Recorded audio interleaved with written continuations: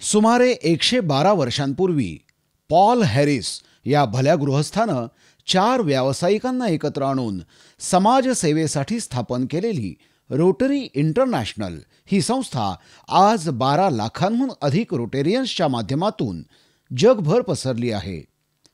Rotary club of Pune West End हा Rotary district three one three वनमधील Rotary इंटरनॅशनलचा एक सदस्य क्लब. आम्ही नित्य नेमाने भेटतो. आपापले नोकरी व्यवसाय सांभाळून आपण या समाजाचं देणं कसं फेडू शकतो याची चर्चा करतो. त्यातून अनेक कल्पना जन्म घेतात आणि उत्तम उत्तम सामाजिक प्रकल्पांमध्ये रूपांतरित होतात.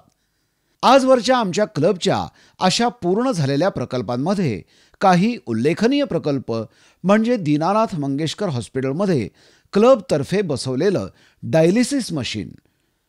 वेल्ह्यातील आंबवणे या गावातील सरस्वती विद्या मंदिर या प्राथमिक शाळेमध्ये क्लबच्या प्रयत्नांमुळे वीज उपलब्ध झाली. येरवड्यातील निवांत अंधमुक्त विद्यालयाला क्लबनं ब्रेल लायब्ररी उभारून दिली आहे. माणसाला जगण्यासाठी अत्यावश्यक म्हणजे पाणी. पण पुण्यापासून अवघ्या शे पन्नास किलोमीटरवरच्या अनेक वस्त्यांमध्ये वर्षातले सहा महिने फक्त पिण्याच्याच नव्हे तर घरगुती वापराच्या देखील पाण्याचा प्रश्न अतिशय गंभीर असतो. या दुर्गम भागांमध्ये स्वच्छ पाणीपुरवठा योजना राबवून हा प्रश्न सोडवण्याचा प्रयत्न दरवर्षी केला जातो. आजवर या परिसरामध्ये सुतारवाडी सांगवी साळुंगण भुतोंडे पालबुद्रुक अशा विविध ठिकाणी अशा पाणीपुरवठा योजना यशस्वीपणे राबवण्यात आल्या आहेत. पुण्याजवळच्या डोंगर वस्त्या वाड्यांमधल्या रुग्णांना दवाखान्यात नेता यावं म्हणून आपल्या क्लब मेंबर्सच्या प्रयत्नातून मोबाईल ॲम्ब्युलन्स साकारली आहे. माध्यमिक शाळेतील विद्यार्थ्यांना विविध शास्त्रीय प्रयोगांची गोडी लागावी या हेतूनं क्लबने पुण्यामध्ये एका भव्य सायन्स सेंटरची उभारणी केली आहे. विविध गंभीर आजारांसंबंधी नागरिकांना तज्ज्ञ डॉक्टरांशी थेट संवाद साधता यावा. या हेतूनं आपण आयुष्यमान भव हा कार्यक्रम गेल्या वर्षी यशस्वीपणे राबवला होता. विविध क्षेत्रातील यशस्वी व्यक्तिमत्वांचे अनुभव जाणून घेऊन त्यातून स्फूर्ती मिळावी या हेतूनं थेट भेट सीझन टू आम्ही घेऊन आलो आहोत. कोविड नाईन्टीनच्या पार्श्वभूमीवर हा कार्यक्रम आपल्या भेटीला ऑनलाईन येत आहे. सामाजिक जाणीव असलेल्या आपल्यासारख्या अधिकाधिक नागरिकांनी रोटरी क्लबचे सदस्य व्हावे तसेच क्लबच्या सामाजिक उपक्रमांना यथाशक्ती हातभार लावावा ही रोटरी क्लब ऑफ पुणे वेस्टर्नतर्फे आग्रहाची विनंती. नमस्कार. मी Rotarian Anand Bhagwatwar Rotary club of Pune West एंडतर्फे आपलं स्वागत करतो. रोटरी म्हणजे सामाजिक कार्य करणारी एक जागतिक संस्था. आमचा क्लब हा त्याचाच एक भाग आहे. रोटरी म्हणजे आनंद वाटणे. वाटणे म्हणजे स्वतःला वाटणे नव्हे तर समाजामध्ये आनंद वाटणे आनंद पसरवणे. Rotary club of Pune West End ही पुण्याच्या आसपासच्या दुर्गम भागातील गावांमध्ये पाणी पुरवठा योजना लहान मुलांचं शिक्षण व वैद्यकीय प्रकल्प करत असते. यासाठी आम्हाला चांगले कार्यकर्ते म्हणजे मेंबर्स व आर्थिक मदतीचीही अपेक्षा असते. थेट भेट हा कार्यक्रम करण्यामागचा हाच उद्देश आहे. की Rotary club of Pune West End करत असलेली कामं आपल्यापर्यंत पोचवावी व या मनोरंजनाच्या कार्यक्रमाद्वारे एक वेगळी ओळख होऊन आपल्याकडून या आमच्या प्रकल्पांसाठी भरघोस आर्थिक मदत मिळवणे तर पाहूयात. थेट भेट सीझन टू पुष्प पहिले प्रसिद्ध कलाकार आणि खासदार डॉक्टर अमोल कोल्हे यांची मुलाखत घेत आहेत आपल्या सगळ्यांचे परिचित सुधीर गाडगे. नमस्कार. Rotary club of Pune western यांच्या वतीनं थेट भेट या गप्पा सत्राच्या दुसऱ्या टप्प्याचा आरंभ आपण शंभू राजांमुळे सर्वत्र गाजत असलेले अभिनेते डॉक्टर अमोल कोल्हे यांच्या गप्पांनी करणार आहोत. अमोल नमस्कार. मनपूर्वक स्वागत. नमस्कार काका. सगळ्यांना मनपूर्वक नमस्कार. जय शिवराय. अमोल मला अगदी आरंभाला एक गोष्ट विचारावीशी वाटते की तू मूळ नारायणगावचा. नंतर मग डॉक्टरी अभिनय राजकारण असे सगळे टप्पे सुरू झाले. तर गावात असताना मुळामध्ये तुझा सर्वाधिक रस कशामध्ये होता? गावात असताना सगळ्यात जास्त रस एकाच गोष्टीमध्ये होता ते म्हणजे त्या क्षणी जे आवडायचं ते करायला मिळालं पाहिजे असं वाटायचं. हा. आणि सगळ्यात जास्त रस होता तो म्हणजे चार चौघातून आपली एक स्वतःची वेगळी ओळख निर्माण करता आली पाहिजे. बरोबर. याला एक प्राधान्य होतं. त्या गोष्टीला मला वाटतं सगळ्यात जास्त बाकी ज्या आवरणं होती त्या आवरणाच्या पाठीमागे सर्वाधिक आकर्षित होण्याचं कारण हे चार चौकापेक्षा वेगळं काहीतरी करता आलं पाहिजे हा एक कारण होतं. मला एक सांग की डॉक्टरी म्हणा राजकारण म्हणा अभिनय म्हणा या कुठल्याही प्रांतामध्ये घरातलं आधी कोणी होतं का? न यातल्या कोणत्याही क्षेत्रामध्ये खरं तर कोणीच नव्हतं. म्हणजे ना मेडिकलच्या क्षेत्रामध्ये कोणी होतं आधी घरातलं ना राजकारणामध्ये कोणी होतं ना अभिनयामध्ये होतं. त्यामुळे तसं पाहिलं तर ही तिन्ही क्षेत्र मी. एक्सप्लोर करतोय. राजकारणामध्ये माझा एक माझे एक चुलत बंधू थोरले हे पंचायत. समिती सदस्य होते. कृषी उत्पन्न बाजार समिती सदस्य होते. पण ज्याला आपण पूर्ण वेळ राजकारणी म्हणतो असा एक फार मोठा वारसा ज्याला म्हणतो अशा. पद्धतीचं कुठलंही बॅकग्राऊंड खरं तर राजकारणाचं नव्हतं. तू नारायणगाववरनं शाळेच्या निमित्तानं आपटे शाळेमध्ये जाण्याकरता म्हणून पहिल्यांदा पुण्यात आलास. त्यावेळेला पुण्यात आल्यानंतर आपल्याला डॉक्टरीकडे जायचंय असं मनात सुरुवात झाली होती का? मिळत गेलं मेरिट होत गेलं आणि त्यातनं संधी येत गेली. नाही सुधीर काका कसं आहे की अगदी टिपिकल मध्यमवर्गीय कुटुंबातला मी मुलगा आहे का मध्यमवर्गीय शेतकरी कुटुंबातला एक मुलगा आहे त्यामुळे. जी कायम एक अस्थिरता शेती व्यवसायाला निगडीत असते त्यानंतर अ, लहानपणापासून मेरिटोरी स्टुडंट होतो आणि मेरिटोरी स्टुडंट असल्यामुळे नक्कीच जे मेरिटचं पहिलं प्राधान्य दिलं जायचं. ते मेडिकलला असायचं किंवा इंजिनिअरिंगला असायचं त्यातही. अगदीच टॉपर जो असायचा तर टॉपर हा शक्यतो मेडिकलला जाणार हे ठरलेलं असायचं. म्हणजे मुळात मी आपल्या प्रशालेला आलो तेव्हा मला आठवतं की आठवी मध्ये महाराष्ट्र प्रज्ञा शोध परीक्षा नावाची परी- परीक्षा होती. आणि त्या परीक्षेत मी महाराष्ट्रातून दुसरा आलो होतो. आणि त्यानंतर अनेकांना असं वाटलं होतं की I should not lose this opportunity आणि त्यामुळे मी पुण्यात यायला हवं. आणि तेव्हा आपटे प्रशालेचं नाव खूप गाजत. होतं. आणि आपटे प्रशालेत मी नववीला ऍडमिशन घेतलं. पण आपटे प्रशालेत पाय ठेवला जेव्हा तेव्हा एकशे एक टक्के आपल्याला मेडिकलला जायचंच आहे हे ठरवलेलं. हा. हे ठरवलेलं. बर. तिथे आल्यानंतर दहावी बारावीला पण मेरिटमध्ये मार्क उत्तम मिळत गेले? मग दोन्हीला मेरिटमध्ये होतो. मी पुणे बोर्डात दोन्हीला होतो. मला वाटतं दहावीला मी काहीतरी अकरावा की बारावा होतो बोर्डात. आणि बारावीला मी दहावा की अकरावा बोर्डात होतो. बर बर आणि मग मेडिकलला जायचं हे ठरवल्यानंतर मेडिकलच्या क्षेत्रातल्या कोणी विशेष गाईड केलं मदत केली सल्ला दिला असं काही केलं? असं कोणी भेटलं? मेडिकलला जायचं म्हटल्यानंतर आमचे नारायणगावचे आमचे जनरल प्रॅक्टिशनर आहे डॉक्टर गोसावी. हा. तर त्याच्याकडून म्हणजे तोपर्यंत असं होतं नारायणगावला बालपण गेलं आणि नारायणगावला बालपण गेल्यानंतर नंतर पुण्यात आलो. त्यामुळे मेडिकलसाठी बेस्ट ऑप्शन हा बीजे मेडिकल कॉलेज याच्या पलीकडे काही नाही. हा. एक जो एक समज होता. तर. डॉक्टर गोसावींनी मला खरं तर जीएस ला किंवा मुंबईला केएम ला जाण्याचा जो एक फार मोठा सल्ला दिला तो डॉक्टर गोसावींनी दिला होता. तुला गंमत म्हणून सांगतो जीएस मेडिकलचा माझा संबंध मी पत्रकारिता करत असताना पन्नास वर्षापूर्वी तिथे झालेलं पहिलं रॅगिंग मुंबईतलं. त्यामुळे बायचान्स झाला होता. GS ला. मला एक सांग जीएस मेडिकलला असताना तू हॉस्टेलला राहत असशील स्वाभाविकपणे? हॉस्टेललाच राहत होतो जीएस मेडिकलला असताना. बर. तुझा एक हॉस्टेलवरचा मित्र आहे त्याला आम्ही गाठला. तो काय म्हणतो. ऐकूया. हा त्याला तो काय म्हणतो आपण ऐकूया? साबण. साबण आपण बोलूया. शर शर शर अमोल म्हणजे माझ्यासाठी सर्व काही. अमोल हा माझ्यासाठी अमल्या होता. तेव्हापासून आतापर्यंत तो माझ्यासाठी अमल्याच राहणार आहे.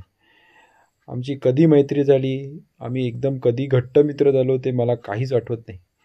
पण हॉस्टेलमध्ये जेव्हापासून मी राहायला आलो तेव्हापासून शेवटपर्यंत आम्ही एकत्र राहिलो आहे सगळं काही एकत्र शेअर केलं आहे जे बाकीच्या पर्सनल गोष्टी असू सिक्रेट्स असू सगळं काही. अभ्यासापासून त्याचे इलेक्शनचे काही डिटेल्स असतील त्याचं काम करायचे नवीन नवीन विचार करणे असेल त्याला बाकीचे नवीन जॉ म्हणजे का M B B S internship करताना त्याचे जॉब करण्याची इच्छा असेल हे तो पहिल्यापासून सगळं सगळं सगळं माझ्याशी डिस्कस करायचं. आम्हाला काही म्हणजे कुठचीच गोष्ट आम्ही लपवून ठेवली नाही. कधी काही टेन्शन आलं तर अजूनही मला आठवतं की नायगावच्या त्या गेटवरनं उडी मारून आम्ही रात्री ब्रॉडवे हॉटेलवर जाऊन तिकडे कॉफी शेक प्यायला जायचो. तिथे डिस्कस करायचो. नंतर ते बंद झाल्यानंतर आम्ही मग मिलन हॉटेलवर चहा प्यायला रात्रीचं तिकडे जाऊन डिस्कशन असायचं. आम्ही बोलायचो. सगळ्या गोष्टी सांगत राहायचो. अमोलबद्दल आणि सांगायचं म्हणजे तो सगळ्याच गोष्टीत एकदम म्हणजे अष्टपैलू म्हणजे ऑलराऊंडर म्हणू शकतो त्याच्याबद्दल. त्या काही विषयच नाही. पण तो कविता करायचा म्हणजे तो फारच छान कविता करायचा. आमची बारीक सारीक गोष्टीवरनं भांडणं व्हायची साध्या साध्या गोष्टी असायची. रूम लावण्यापासून कधीच रूम लावली नाही स्वच्छ ठेवली नाही अमोलने. कधी अभ्यास करण्यावरनं सकाळी उठायचं नाही अभ्यास करायचं नाही त्याच्यावरनं साध्या साध्या गोष्टीवरनं आम्ही भांडणं करायचो. आणि मग मी बोलायचं बंद मला कंटाळायचं नाही म्हणे मी आता बोलणार नाही त्याच्याबरोबर. मग अमोल एखादी बारीकशी चारोळी किंवा एक छान कविता लिहायचं. आणि सगळं काही राग वगैरे विसरून परत आम्ही एकत्र व्हायचो. ते मला अजूनपर्यंत कळलं नाही तो कसं करायचं. पण एकदम स्पॉन्टेनियस कवी म्हणावं तर तो अगोदरपासनं ते तर करायचं. अमोल नेहमीच पुढे असायचा प्रत्येक गोष्टीसाठी. मग तो कल्चरल इव्हेंट असो इलेक्शन्स असो बाकीचे स्पोर्ट्स असो सगळ्या गोष्टींमध्ये. इवन मुलींमध्येही सेंटर ऑफ अट्रॅक्शन ते काही विचारायलाच नको. आताही ते आहेच. पण अजूनपर्यंत त्याच्यात काही फरक झालेला नाही आहे पहिल्यापासनं म्हणजे जेव्हा त्यांनी दूरदर्शनची पहिली सिरियल घेतली तेव्हाचं स्ट्रगल म्हणजे इंटर्नशिप करायची त्याच्यात धावपळ करून तो जॉब करायचा तिथून पळत येऊन परत दही बाकीच्या गोष्टी करायच्या या सगळ्या गोष्टी त्यांनी केलेल्या. आणि आता शंभूराजे सिरियलपर्यंत त्याची प्रत्येक गोष्ट मला दिसते. आणि त्यांनी ज्या जिद्दीने ही कामं केलेली आहेत ती एकदम म्हणजे काय त्याच्याबद्दल बोलावं तेवढं कमीच आहे. प्रत्येक गोष्टीसाठी अजून म्हणजे अजूनही त्याला म्हणजे इतका जरी तो मोठा झाला काही झालं तरी अजून कधीही आम्ही त्याला फोन केला काही झालं तर तो कधीच असं नाही होत की त्यांनी फोन आला नाही परत रिप्लाय केला नाही किंवा कधी वे कधी ना कधी वेळ काढून तो अजूनही भेटतो. आम्ही मुंबईला गेलो तर तो कुठलाही वेळ असेल कधी कितीही बिझी असला तरीही आम्ही जाऊन भेटलो तर आम्ही थांबलो तरी येऊन नंतर वेळ वेळ काढून आमच्याशी गप्पा मारतो आणि अजूनही त्याच भाषेत आमच्याशी बोलतो. अजूनही मी त्याच्यासाठी धीरज आहे किंवा तो मला एकदम प्रेमाने तर विचारलात तर काय नावं ठेवलेली आहेत लाल्या टकल्या आणि काय काय ते विचारू नका. पण तो अजूनही माझ्यासाठी अमल्याच आहे आणि तो शेवटपर्यंत माझ्यासाठी अमल्याच राहणार. Amalya best of luck to all म्हणजे तुम्ही अगदी अगदी योग्य माणूस निवडलेला आहे. म्हणजे मेडिकल म्हणजे या इंटरव्ह्यू मध्ये ही has been my closest friend आणि ऑलमोस्ट आम्ही बॅचमेट होतो. मला वाटतं आम्ही रूम पार्टनर जवळपास साडेचार पाच साडेचार वर्ष आम्ही दोघे रूम पार्टनर होतो. पण या पंधरा सोळा वर्षांमध्ये प्रत्येकाच्या प्रत्येक मला वाटतं महत्त्वाच्या घडामोडी असतील. या एकमेकांना शेअर केल्याशिवाय आम्ही राहत नाही. So your cheese my one of my closest friends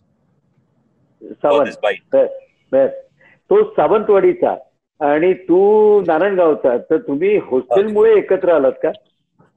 हो हॉस्टेलमध्ये आम्ही रूममेट होतो. म्हणजे आम्ही रूम पार्टनर्स होतो जवळपास साडेचार वर्ष. बरोबर. आणि माझ्या सगळ्या एक्स्ट्रा करिक्युलर ऍक्टिव्हिटीज करून सुद्धा मला एमबीबीएस ची डिग्री मिळणं याच्यासाठी एक फार महत्वाचं कारण म्हणजे डॉक्टर धीरज सावंत. अरे वा.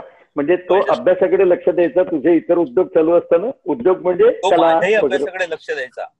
बर बर बर. म्हणजे मला अगदी सकाळी उठवण्यापासून ते काय काय महत्वाचं आहे काय काय वाचलंय काय काय नाही ती माझी रिव्हिजन घेण्यापर्यंत. या प्रत्येक गोष्टीमध्ये धीरजचा फार महत्वाची गोष्ट होती आणि तसं बघितलं तर मी खूप त्या मनाने भडक होतो डोक्याने. आणि धीरज खूप समंजस आहे. त्यामुळे प्रत्येक वेळी शांत हो शांत घे थंड घे. किंवा तोंडावर तू चुकतोयस किंवा तू चुकलायस. हे. सांगणार.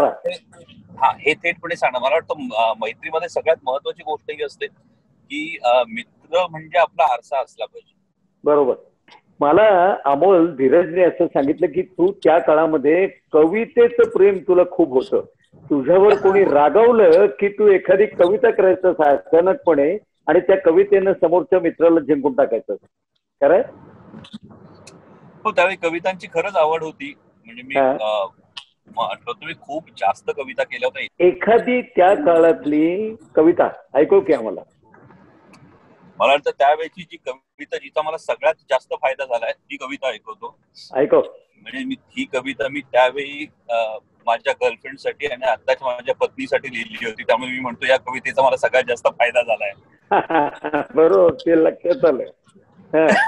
ऐकव ना. सकाळची सोनपिवळी उन्ह तुझ्या चेहऱ्यावर उतरतात. सकाळची सोनपिवळी उन्ह तुझ्या चेहऱ्यावर. उतरतात. थोडस तेज उधार घेऊन मग दिवसभर मिरवतात. मग दिवसभर मिरवतात. ती तुला कॉलेजमध्येच प्रथम दिसली का? कारण ती डॉक्टर आहे म्हणजे त्याच वेळेला असणार. हो ती मला कॉलेजमध्ये भेटली. आणि she is also my batchmate बरं ती कॉलेजमध्ये भेटली पण तिची माझी खरी भेट झाली ती कॉलेजच्या स्टेजवर झाली.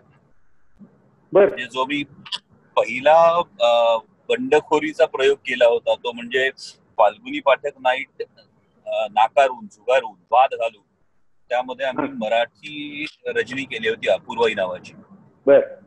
आणि या मराठी रजनीसाठी अपूर्वाईसाठी माझी को अँकर म्हणून तिने काम केलं होतं? डॉक्टर अश्विनी वैद्य आदीची. आणि त्यानंतर म्हणजे she is a fabulous actress specially. तिचं व्हॉइस मॉड्युलेशन मला खूप आवडतं आता? बायकोचं व्हॉइस मॉड्युलेशन हे नवऱ्याला आवडतं ही रेअर गोष्ट आहे हो, हो, हो. कारण प्रत्येक बायको मध्ये व्हॉइस मॉड्युलेशन करते. अश्विनी वैद्य मूळ कुठची मूळची ती जळगावची नंतर ते नाशिकला अ, स्थायिक झाले बरोबर आणि ते व्हॉइस मॉडेलिंग तिचं ऐकलं आणि तिची दोस्ती झाली ती तुझी को अँकर झाली आणि मग पहिला शब्द तिने तुझ्याकडे टाकला का तू तिच्याकडे टाकला? दोस्तीचा? खर तर ते काही काही नात्यांमध्ये असतं की कधी जुळतं कळत नाही. तसं तशापैकी आमचं आहे. हं. की आम्ही खूप चांगले मित्र आहोत. त्यामुळे माझ्यापर्यंत जर कुणाला पोचायचं असेल. तर त्या मुलीसाठी सुद्धा माध्यम पहिलं अश्विनी असायची. आणि. तिच्यापर्यंत कुणाला पोचायचं असेल तर बऱ्याचदा मुलं मला विचारायची की. अरे मला हिच्याशी बोलायचं आहे. नंतर असं रिअलाइज झालं की अरे हे काहीतरी वेगळंच गणित होतंय.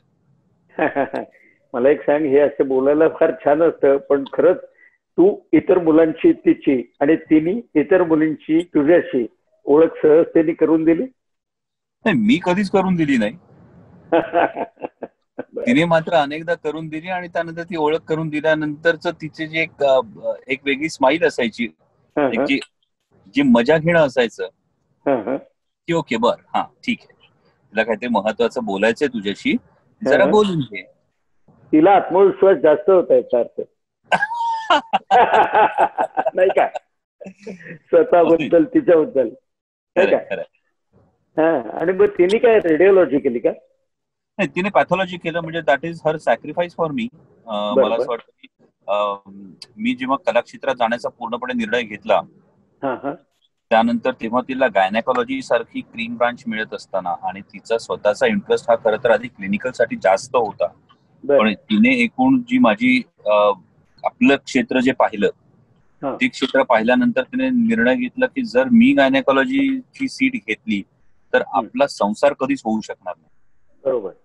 त्यापेक्षा मी नॉन क्लिनिकल घेते सो सी डेड पॅथॉलॉजी आणि. खूप नशीबवान डॉक्टर्स पैकी एक असं मला वाटतं कारण तिचं. ग्रॅज्युएशन केईएम ला झालंय तिचं पोस्ट. ग्रॅज्युएशन केईएम ला झालेलं आहे आणि. नाव she is assistant professor in KEM it बरोबर केएमला ती नो सध्या असिस्टंट प्रोफेसर म्हणून म्हणजे नोकरी करते ते आम्हाला. खूप हे वाटतं की.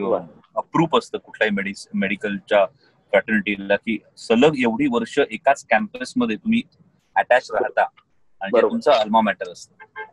तुझं कॉलेजला असताना म्हणजे डॉक्टरीचं शिक्षण घेत असताना नाटक वगैरे सुरू झालं होतं? हो डॉक्टरीचं शिक्षण घेत असतानाच नाटक सुरू झालं होतं. सेकंड इयर एमबीबीएस ला मी पहिलं मला वाटतं फर्स्ट इयर एमबीबीएस लाच मी पहिलं नाटक केलं. शांतेचं. कार्ट सुरू आहे त्यानंतर चालू आहे. त्यानंतर दिनूच्या ससुबाई राधाबाई केलं. आणि. त्यानंतर अपूर्वई नावाचं प्रकरण सुरू झालं मग आम्ही. केईएममध्ये आज खरंच ही गोष्ट मी अभिमानाने सांगेन की जेव्हा आपण टॉर्च एकाकडून दुसऱ्याकडे देतो त्या हो. पद्धतीने आज केईएममध्ये अपूर्वई जवळपास गेली एकोणीस वीस वर्ष सुरू आहे अव्याहत त्याचबरोबर आम्ही केईएममध्ये अद्वैत नावाची एक एकांकिका स्पर्धा सुरू केली ती एकांकिका. स्पर्धा आज गेली अठरा वर्ष सुरू आहे हा, त्यामुळे हा. कॉलेजमध्ये सुरू झालं होतं फक्त त्याचं व्यावसायिक रूप सुद्धा योगायोगानं कॉलेजमध्ये असतानाच व्यावसायिक क्षेत्रात पदार्पणही माझं झालं होतं. बरोबर. व्यावसायिक क्षेत्रातलं पहिलं नाटक तुझ्याकडे कुठलं आलं आणि ते ते कसं तुझ्यापर्यंत पोहोचलं? नाही ही झिगझॅग प्रवास आहे. कारण आधी मी नाट्य म्हणजे रंगभूमी व्यावसायिक रंगभूमीवर आधी पाऊल नाही टाकलंय. आधी मी दूरचित्रवाणी मालिकांमध्ये गेलो. पहिलं जे झालं ते सांगा उत्तर सांगा नावाचा एक क्विज शो होता सह्याद्री वाहिनीचा. आमची शाखा कुठे शो होता. अगदी. खरं सांगायचं म्हणजे हे दोन्ही शो माझ्यासाठी कहाणी होतं ना आधी एक अधुरी कहाणी त्यानंतर होतं म्हणजे आधी कॉलेजमध्ये. असताना हे दोन्ही शो जे होते ते माझ्यासाठी अर्न अँड लर्नचं मॉडेल होतं म्हणजे या शो मधून मिळणाऱ्या पैशातून माझी. फी माझं हॉस्टेल माझा पुस्तकांचा खर्च हा. हे सगळं मी भागवत होतो अरे वा सो हे दोन माझ्यासाठी अर्न अँड लर्न मॉडेल आमची शाखा कुठेही नाही. हे जे दूरदर्शनचं सुरू झालं त्याच्यामध्ये मला वाटतं तू आमच्या खेळामध्ये होतास ना निवेदक होतास. हो या दोन्हीमध्ये निवेदक होतो मी. अमोल डॉक्टर हा मालिका नाटक सिनेमा राजकारण असे सगळे उद्योग तेवढ्याच जोरदार तयारीने करत असल्यामुळे तो आता खासदार असल्यामुळे खासदारकीची बैठक संपून येत असताना गाडीत आम्ही त्याशी गप्पा चालू केल्या. गाडीमध्ये थोडा व्यत्यय येत होता म्हणून आता तो सेटवर आल्यानंतर त्याच्याशी पुढच्या गप्पा करतोय. की अमोल आपला विषय चालला होता तो तू मालिकांमध्ये दूरदर्शनमध्ये पहिली सुरुवात केलीस तेथे निवेदक म्हणूनच तू सुरुवात केली तीस त्याबद्दल बोलत होतास ते सांग. सुरुवातीला जेव्हा कॉलेजमध्ये होतो त्यावेळी पहिल्यांदा मी निवेदनाला सुरुवात केली ती सांगा उत्तर सांगा या सह्याद्री वाहिनीच्या कार्यक्रमातून केली. बर. आणि मग त्यानंतर आमची शाखा कुठे नाही हा कार्यक्रम केला. बर. सांगा उत्तर सांगा ही प्रश्नमंजुषा होती त्यासाठी स्क्रिप्ट ची तयारी खूप करायला लागायची. त्यासाठी. युपीएससी एमपीएससी ची सगळी पुस्तकं वाचून मग ती स्क्रिप्ट तयार करून मग ती प्रश्नमंजुषा अख्खी मी स्वतः तयार करायचो. आणि त्यानंतर आमची शाखा कुठे नाही मध्ये वेगवेगळ्या कॉलेजेसमध्ये जाऊन वेगवेगळ्या मुद्द्यांवर. तरुणांशी संवाद साधायचो आणि दिवसाला दोन किंवा तीन कॉलेजेस कव्हर करायचे असल्यामुळे खूप हजरजबाबीपणा आवश्यक होता त्यावेळी हो, पण हो. मला अजूनही वाटतं आमची शाखा कुठे नाही मध्ये जे काही केलं त्याचा अजूनही फायदा होतो. विशेषतः मत जाणून घेत असताना किंवा त्याच्यावर व्यक्त होत असताना त्याचा नक्कीच फायदा होत असतो. आणि हा पूर्ण प्रवास जो होता तो माझ्यासाठी अर्न अँड लर्नचा एक्सपिरियन्स होता. बरोबर. मला एक सांग अभ्यासामध्ये मेरिट डॉक्टरीची दिशा तरीही नाटक सिनेमा मालिका यामध्ये जाणं हे सगळं सहजतेनं झालं? का येत गेली संधी आणि तू स्वीकारत गेलास? म्हटलं तर येत गेली संधी आणि मी स्वीकारत गेलो. सुरुवातीच्या काळामध्ये यामध्ये खूप दोन माणसांचा माझ्या आयुष्यात खूप मोठा भाग आहे सहभाग आहे. कोण एक म्हणजे डॉक्टर रवी बापट आणि दुसरे म्हणजे स्वर्गीय सुबल सरकार नृत्य दिग्दर्शक. या. दोघांचा माझ्या एकूण या सगळ्या प्रवासामध्ये फार मोठा वाटा आहे. हा. आणि त्यामुळे मला वाटतं की या दोघांनी मला आयुष्याकडे बघण्याचा वेगळा दृष्टिकोन दिला. म्हणजे सुबलदांनी आभाळाला हात लागलेले असताना सुद्धा पाय जमिनीवर कसे घट्ट रोवून ठेवायचे सुबलदांकडून बघायला खूप शिकायला मिळालं. आणि डॉक्टर रवी वापटांकडून मात्र एकाच लाईफ स्पॅनमध्ये एक व्यक्ती किती हा. वेगवेगळ्या क्षेत्रांना स्पर्श करू शकतो आणि त्यातही अधिकारवाणीनं वावरू शकतो हो. हा एक आदर्श डॉक्टर रवी बापटांनी माझ्यासमोर घालून दिला मला वाटतं रवी बापट केईएमलाच त्यावेळेला होते ना? तर रवी बापट केएमलाच होते आणि या सगळ्या आमच्या एक्स्ट्रा करिक्युलर ऍक्टिव्हिटीजचे पॅटर्न हा. हे डॉक्टर रवी बापट होते. हे मला आठवतं की जवळपास आमच्या बॅच साठी रवी बापट सरांनी जवळपास दहा बारा वर्ष अंडर ग्रॅज्युएट स्टुडंट्सना शिकवणं थांबवलं होतं. बर बर पण आमच्या बॅच कडे बघून बापट सरांनी आमच्यासाठी स्पेशल सर्जरीची क्लिनिक घेतली होती. आणि. त्या सरांची अट अशी होती जे एक्स्ट्रा करिक्युलर ऍक्टिव्हिटीजमध्ये सहभागी होतात अशाच. मुलांसाठी मी ही क्लिनिक केली. वा वा. आणि ते फार महत्वाची गोष्ट आमच्यासाठी होती. या दोघांनी माझ्या आयुष्यावर फार मोठा परिणाम केला असं मला वाटतं. वा तुला आता मी एक सांगतो माझं भाग्य आहे की रवी बापट सरांची पण मी प्रकट सविस्तर मुलाखत त्यांच्या त्या काळामध्ये घेतलेली होती आणि त्यांनी ज्यांना उत्तेजन दिलं आणि ज्यांना या क्षेत्रामध्ये येण्याकरता मदत केली त्या तुझ्यासारख्या एका उत्तम मान्यवर झालेल्या अशा विद्यार्थ्याची आणि आता कलावंत झालेल्याची मुलाखत आपण आता करतोय. हे माझ्या दृष्टीने भाग्याची गोष्ट आहे खरंच. तुला आता मी तुझ्याशी बोलत असताना त्या धीरज सावंतशी बोलत होतो आणि अजून एक मित्र तुझा भेटला तो म्हणजे मोघे श्रीकांत मोघ्यांचा मुलगा. शांतनू. शांतनू येस त्याच्याशी हा त्यालाही आम्ही आमंत्रित केलं. तर शंतनू बद्दल थोडस आपण ऐकूया? अगदी. हा. डॉक्टर अमोल कोल्हे हे नाव ऐकताच आपसुकच चेहऱ्यावर हसू उमटतं. आपले फार कमी मित्र असे असतात ज्यांच्यावर आपण प्रेम अधिक करतो का त्यांच्याविषयी आपल्याला आदर अधिक वाटतो हे आपलं आपल्यालाच कळत नसतं. त्यातलाच एक म्हणजे अमोल. याची कारणं अनेक आहेत. सर्वप्रथम अव्वल दर्जाचा माणूस. तो जेव्हा लोकांशी इंटरॅक्ट करतो तेव्हा तो किती केअरिंग आहे किती पॉझिटिव्ह आहे आणि किती जेन्युइन आहे हे लगेच कळून येतं. दुसरी एक महत्त्वाची गोष्ट म्हणजे अमोल अत्यंत हुशार आहे. म्हणजे तो मेरिटमध्ये चालाय त्यामुळे त्याच्या हुशारीविषयी मी अधिक काय सांगावं? पण मला नेहमी असं वाटतं की त्याच्या अभ्यासातल्या हुशारीपेक्षाही त्याची जी अंगभूत हुशारी आहे ती मला जास्ती भावते. कारण ती अंगभूत हुशारी त्याच्या ओव्हरऑल पर्सॉनामध्ये दिसते त्याच्या विजनमध्ये दिसते तो जे जे कन्सिव्ह करतो त्याच्यात ती झलकते तेव्हा त्याची दूरदृष्टी ही खूप वाखाणण्याजोगी आहे. बरं हे सगळं करून तो थांबत नाही. झपाटल्यासारखा त्याच्यामागे लागतो त्याचा ध्यास घेतो. त्यामुळे ही गोष्ट खूप शिकण्याजोगी आहे. मला असं वाटतं की तो शिवशंभू भक्त असल्यामुळे शिवविचार त्याच्या अंगाअंगात भिनला गेलाय आणि ते त्याच्या कृत्यातून नेहमीच दिसत आलंय. दुसरी एक गोष्ट म्हणजे अमोल एक उत्तम वक्ता आहे. तो माझा मित्र आहे म्हणून मी हे म्हणत नाहीये पण अमोल जेव्हा एखादी गोष्ट मांडतो तेव्हा तो अत्यंत अभ्यासू वृत्तीनं आणि मुद्देसूदपणे मांडतो. त्यामुळे रिलॅबिलिटी वाढते. आणखीन एक आता मी तुम्हाला जे जे काही सांगतोय त्यामुळे तुम्हाला असं उगीच वाटत असेल की अमोल म्हणजे धीर गंभीर किंवा अगदी गंभीर प्रकृतीचा व्यक्ती आहे तर असं अजिबात नाहीये. तो अत्यंत खट्या आणि खोडकर आहे. आम्ही सेटवर त्याचा पुरेपूर अनुभव घेतलेला आहे. दुसरी एक सिरियस गोष्ट तो आता राजकारणात गेलेला आहे. अभिनेता म्हणून त्यांनी त्याचा आपला एक असा वेगळा ठसा उमटवला आहेच. पण तो अभिनेता आहे त्याच्या भोवती एक वलय आलंय आणि म्हणून आता तो एम पी झालाय असं अजिबात नाही त्याला राजकारणाची ओढ अगदी पूर्वीपासून होती आणि हे त्यांनी अनेकदा बोलूनही दाखवलं होतं. त्यामुळे मला असं वाटतंय की एक अत्यंत सुशिक्षित सुसंस्कृत नेता आपल्याला मिळणार आहे यापेक्षा जास्त मोठं भाग्य ते काय?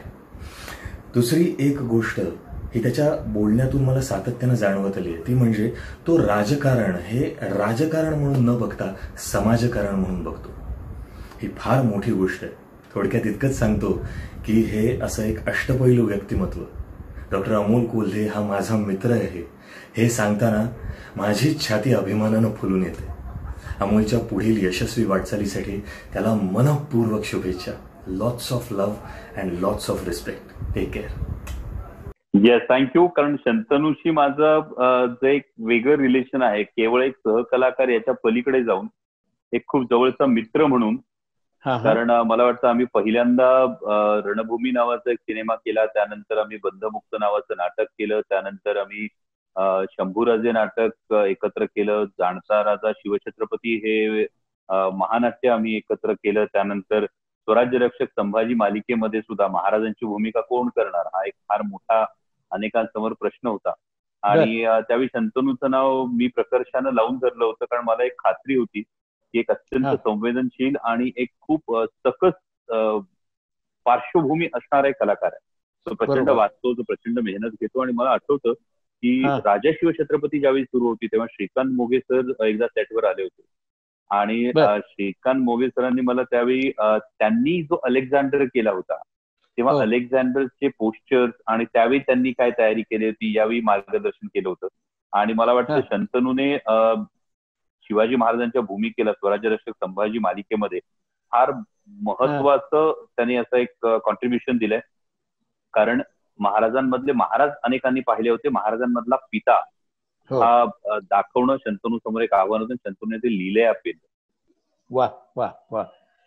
आता तू सेटवर आलास आपण गाडीतनं बोलता बोलता राजकीय अमोल कोल्हे आता पुन्हा एकदा कलावंत अमोल कोल्ह्याकडे आले तर हे सेट कुठला? स्वराज्य जननी जिजामाता ही मालिका सुरू आहे सोनी मराठी वाहिनीवर. तर यामध्ये एक विचार होता की महाराजांवर कलाकृती आली संभाजी महाराजांवर कलाकृती आली. पण हे जे स्वराज्याचं स्वप्न ज्यांनी खरं तर महाराजांच्या माध्यमातून प्रत्यक्षात आणलं हा जिजाऊ महासाहेबांवर स्वतंत्र व्यक्तिरेखा म्हणून मालिका आली नव्हती आणि. सोनी मराठीने ही संधी माझ्या जगदंब क्रिएशन्स दिली त्याबद्दल त्याचं खरंच मनापासून आभार मानलं पाहिजे की हा जो. संपूर्ण प्रवास आहे महाराजांना घडवण्याचा प्रवास आहे आपल्या पतीचं स्वप्न तुटत असताना ते स्वप्न स्वतःच्या डोळ्यात पेरून घेऊन नंतर ते स्वप्न प्रत्यक्षात आणण्याचा जे हो. फार मोठा त्यागाचा प्रवास जिजाऊ महासाहेबांचा आहे, तो साकारण्याचा आम्ही या मालिकेतून प्रयत्न करतोय. जवळपास. एकशे शहाऐंशी भाग याचे आतापर्यंत प्रसारित झालेले आहेत. आणि आता कोरोना नंतर पुन्हा एक विलक्षण योगायोग आहे हा काका की जिजाऊ महासाहेबांनी पुण्यात सोन्याच्या नांगरानं जमीन नांगरली आणि गावाबाहेर गेलेल्यांचा पुन्हा एकदा विश्वास बसला. आणि महाविकास आघाडीच्या हो, हो. सरकारनं महाराष्ट्र सरकारनं हा एक अत्यंत स्तुत्य निर्णय घेतला. तो म्हणजे चित्रपटगृह नाट्यगृह अजून बंद आहेत आणि ती पुढच्या काही काळ आणखी बंद राहतील. असं असताना मालिका विश्वातून मनोरंजन क्षेत्राला चालना देण्याचा हा एक अत्यंत स्तुत्य निर्णय त्या एसओपी हो. पाळून त्या गाईडलाईन्स पाळून चित्रीकरण सुरू करायचा. आणि पुन्हा हो. स्वराज्यजनी जिजामाता ही मुंबईत चित्रीकरण सुरू होणारी पहिली मालिका वा जे आज आम्ही सुरू केलेलं आहे. त्यामुळे ते चित्रीकरण आज सुरू झालं. वा मला मुळामध्ये एक सांग आपल्या मुळातल्या मुलाखतीकडे मी येतो. की डॉक्टरीमध्ये एक उत्तम मेरिट डॉक्टरीची दिशा पक्की झालेली. नाटक सिनेमा मालिका याच्यामध्ये तू हे येणं सुरू झालेलं. तर यातलं नेमकं काय करायचं याची तुझ्या मनातली दिशा पक्की कशी झाली? माझ्या मनातलं मला याचं फार मोठं श्रेय माझ्या वडिलांना जातं. माझ्या वडिलांनी मला एकच फार मोठा मंत्र दिलाय जो मी सातत्यानं सगळ्यांना सांगतो.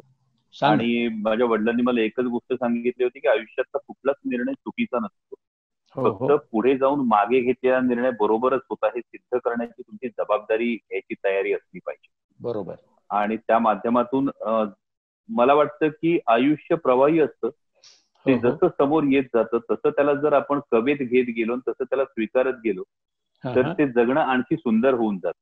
म्हणजे. आयुष्याचं ओझं पाठीवर घेऊन पूर्ण रखडत खरडत नंतर जगण्यापेक्षा एक तर. खूप नशीबवान लोक असतात ज्यांना त्यांच्या आवडत्या क्षेत्रात करिअर करायला मिळतं आणि हो. मला वाटतं की कदाचित ही बापट सरांकडे बघून आलेली प्रेरणा असेल की मला एकाच मध्ये एवढ्या गोष्टींना स्पर्श करायचा आहे हो. म्हणजे आजही कला क्षेत्रात स्थिरावले त्यांचं म्हणजे बाबा मला गमतीनं म्हणायचे दुर्दैवानं अं, दोन वर्षांपूर्वी ते गेले पण माझे बाबा मला कायम गमतीनं म्हणायचे की एका क्षेत्रात सेटल झालं की तू दुसऱ्या क्षेत्रात उडी मारतो हो हो.